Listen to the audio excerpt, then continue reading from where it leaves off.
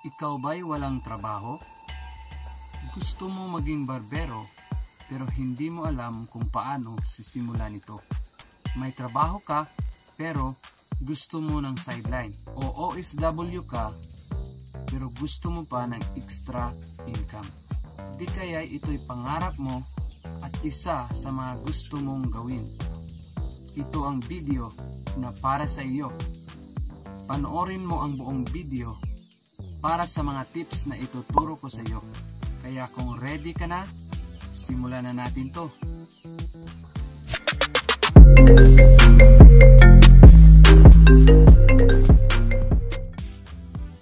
Ako po si Daddy Mikdo at natuturo po ako ng mga kaalaman sa pagbabarbero. Shalom sa lahat ng mga suki and welcome to our channel.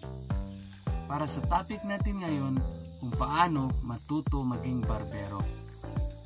Paano nga ba mag-start ng pagiging barbero? Yan ang madalas na katanungan sa mga magsisimula pa lang. Ang sagot, Una, kailangan gusto mo talagang gawin ito. Kumbaga, gustong gusto mo maging barbero. Ika nga'y walang makakapigil sa iyo kahit na anong mangyari. Pangalawa, kailangan handa ka talagang mapagalitan.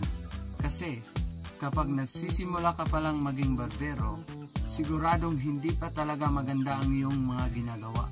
Kadalasan, hindi mo pa talaga masunod yung gusto ng kliyente mo.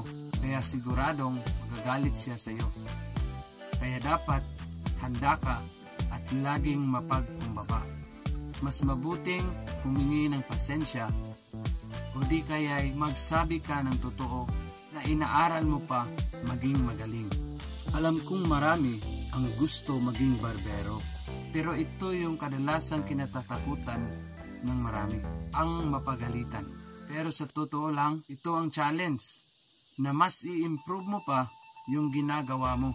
At malalaman mo lang kung talagang marunong ka na pag wala nang magagalit sa gawa mo at na-appreciate na ni kliyente. Huwag kang mag-alala.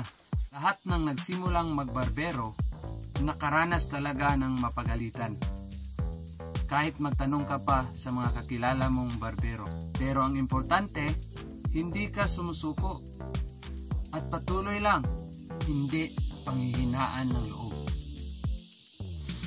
Pangatlo, tingin ka sa mga haircut tutorials for beginners video.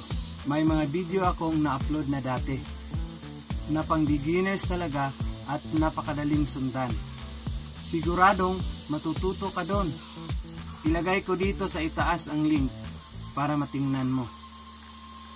Madali na lang mag-aral ng gupit ngayon kasi andyan na ang mga tutorial videos. Nasa iyo na yan kung masipag ka mag-aral nito. Pang-apat, kailangan talaga magkaroon ng sariling gamit. Hindi ka mag-improve kung gunting at suklay lang ang gamit mo. Oo, pwede mong magawang maggupit pero hindi lahat ng style ng gupit makukuha mo. Kagaya nung mga style ngayon, yung mga fade. Mahirap pag gunting lang at suklay ang ginagamit mo.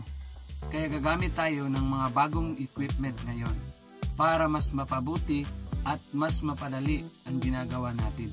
Alam mo, mas madali nating masunod yung mga tutorial video na itinuturo sa YouTube ngayon kung ikaw ay may kompletong gamit. At isa pa, magmumukha din tayong expert pag may kompleto tayong gamit. Kagaya ko, ginawa ko talaga yun nung nagsimula ako nung year 2017. Hindi pa ako magaling nun pero matagal ko na talagang pinangarap na maging barbero. Kaya bumili ako ng kompletong gamit gaya ng gunting, suklay, cape, labaha, hairspray, clippers, at pamaspas.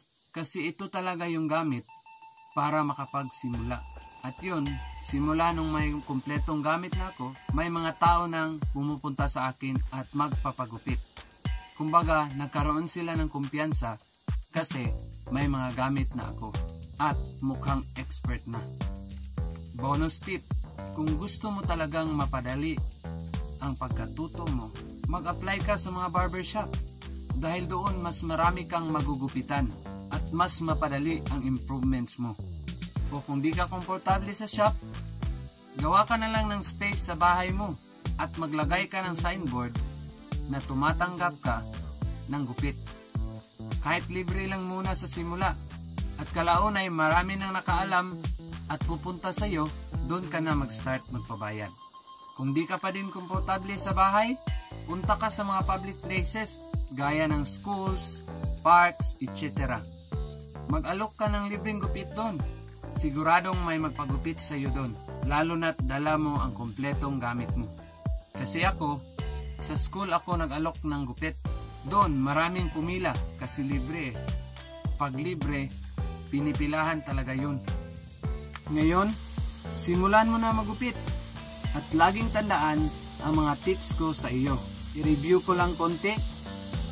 Una, kailangan gusto mo talaga itong gawin. Pangalawa, kailangan handa kang mapagalitan. Pangatlo, tingin ka sa mga haircut tutorial for beginners video. At pang-apat, kailangan magkaroon ka ng sariling gamit.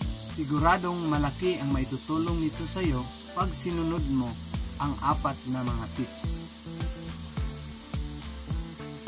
Sana'y marami kayong natutunan sa video na ito. I look forward to make more videos para sa iyo na mapupulutan ng maraming kaalaman tungkol sa pagbabarbero. That's all for today's video. Huwag pong kalimutan na i-like at mag-subscribe sa ating channel. At i-click na rin ang notification bell para updated ka sa mga bagong video na i-upload ko. At pwede nyo rin bisitahin ang aking Facebook page, Daddy Mikdo. Kaya maraming salamat sa panunood. Shalom and bless you everyone.